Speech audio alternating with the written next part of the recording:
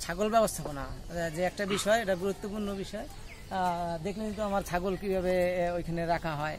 আর দিনের বেলা আমি ছাগল, এই যে, এই- যে, এই যে আমার স্বল্প পরিসরে ইয়ে চারণভূমি, এইখানে আমি ছাগল রাখি।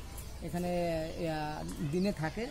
যদি বৃষ্টি বাদল হয়, তাহলে ছাগল আবার ঘরে নিয়ে যাওয়া হয়। এই যে দেখেন, আগে এখানে মাটি ছিল, এখানে বালু দিয়ে কিছুটা ভরাট করেছি। কারণ ওই মাটিতে এই উন্নত জাতের ছাগল থাকলে এদের একটু ঠান্ডাটা বেশি লাগে। মানে বালুতে থাকলে ঠান্ডাটা কম লাগে। যার কারণে আমি এখানে ইয়া, বালুর সিস্টেমটা করেছি। এইভাবে আসলে ছাগল যদি রাখা হয় তাহলে আশা করি যে ছাগল অনেক সুস্থ থাকবে।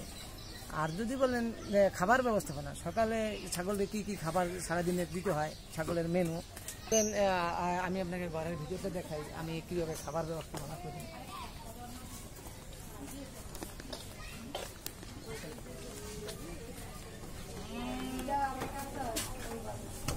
উপরে এই যে দেখেন প্রত্যেকটা ছাগলের জন্য এক একটা আলাদা পাত্র আছে।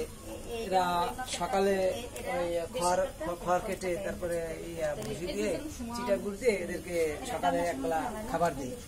এরপরে দুপুরে কিছু ঘাস দেই এগারোটা, বারোটার দিকে দুইটার দিকে এদেরকে ওই ভুট্টা ভাঙা আছে, ওগুলো জাল দিয়ে ফুটে তারপরে ওদেরকে খাওয়ানো হয়। খাওয়ার পরে বিকেলবেলা আবার ওদেরকে একবেলা ঘাস দিতে হয়।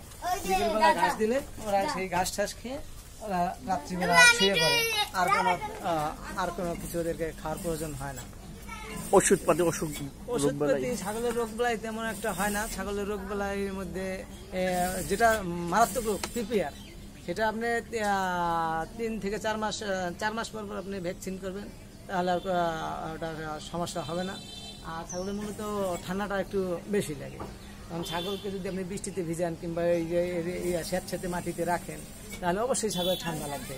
আর ঠান্ডাটা হচ্ছে ছাগলের জন্য খুবই একটা মারাত্মক কয় বেলা কয় বেলা ছাগল বাহির করেন? ছাগল, আমি এখন আমার তো জানিনি, আমার রাজুর একটা ব্যবসা আছে। আমি সকাল নয়টার মধ্যে আমি ছাগলগুলোকে এখানে রেখে যাই। তারপরে আমার ওয়াইফ আছে, বাচ্চারা আছে, এরা দেখাশোনা করে, আমি আবার দুইটা থেকে তিনটার মধ্যে ফিরি। তখন আমি এসে আবার এদেরকে খাবার দাবার দিই। বিকেলে সন্ধ্যার আগে ঘরে তুলি ওদেরকে সেবা যত্ন করি। এভাবেই আমি আর কি করতেছি এখন।